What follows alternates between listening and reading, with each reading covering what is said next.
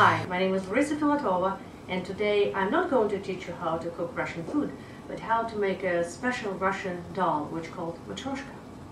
And it's ancient doll which uh, derived from Latin word mat and it's mean mother with the babies inside. And uh, in my case it's has five inside.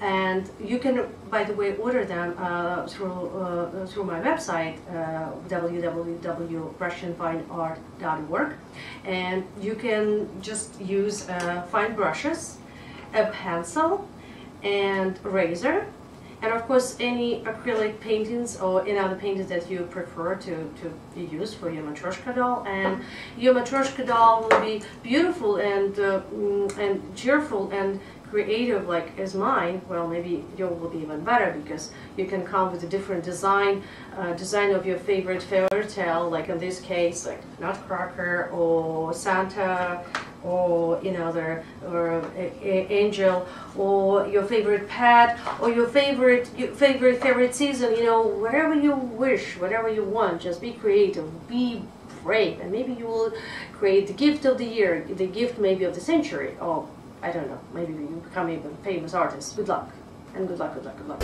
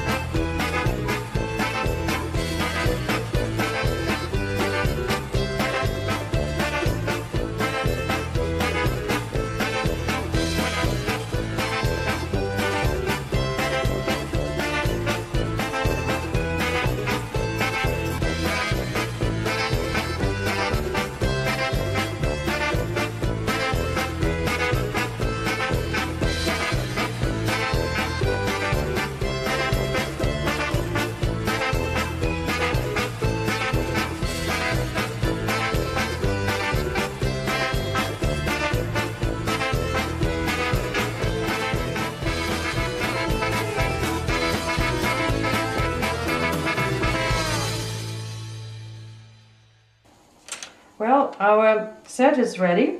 We take her from the little uh, stick here, put it down, and they're all together. So be creative and don't forget that this is little blank, uh, very plain uh, wooden uh, set could be such a creative and such a beautiful like this one.